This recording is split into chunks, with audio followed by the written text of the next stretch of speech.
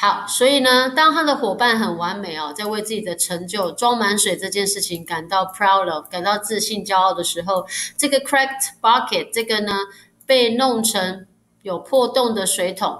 他呢，which couldn't deliver，因为他没办法 deliver，他没办法运送水，而且和谁一样，as much as the partner，他没办法和呢他的 partner 和的伙伴一样装满水，能够装满这么多的水。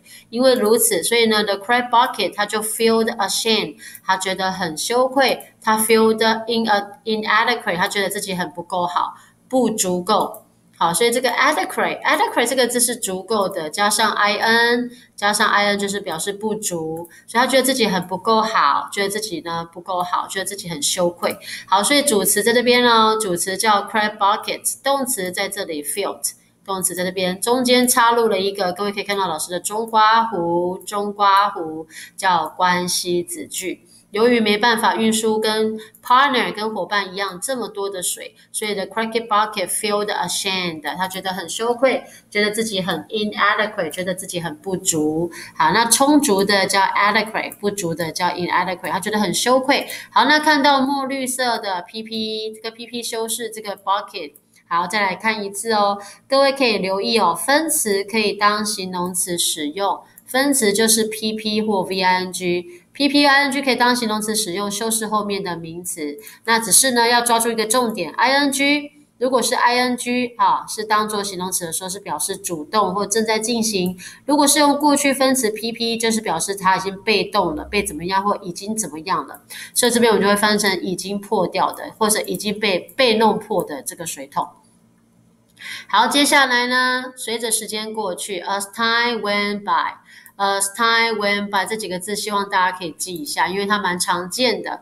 As time goes by, as time went by，这边是因为说故事，所以时间用过去式。正当随着时间慢慢的流逝，as time went by，啊，as time went past。The cracked bucket 这个有破洞的，这个已经破掉的 ed 哈，这个已经破掉的水桶就开始 began to feel frustrated，他就开始慢慢的对自己越来越觉得挫折。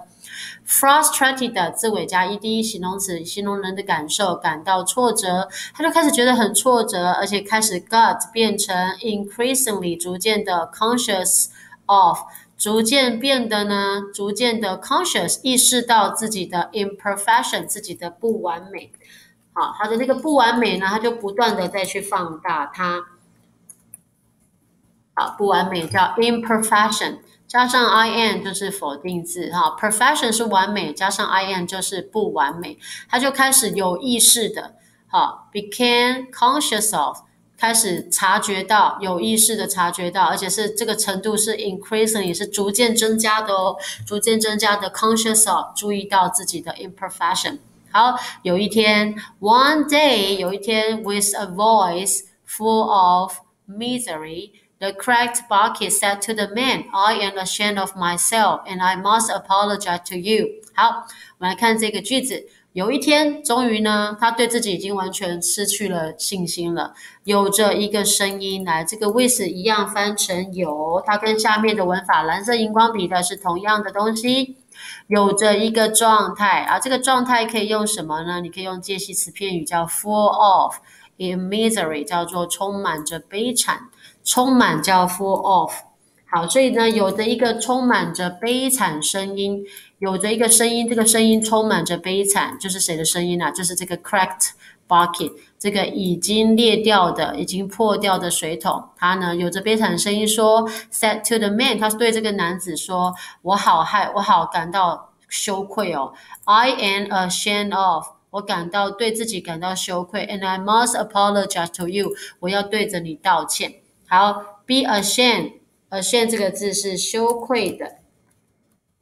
好，感到羞愧的 of 是翻译成对于我对自己感到羞愧，而且我要对你 apologize，我要对你道歉。来看到道歉哦，道歉可以用 apologize to，可以用 make an apology to 啊，不要忘记你学过的东西哦，做一个道歉的动作 to someone 对谁。好，所以是向某人道歉。这个向老师打错了，是这个向向某人道歉。好，那蓝色呢是这个荧光笔颜色，一样是用形容词，这边用形容词来修饰。这个声音是充满着悲惨的。好，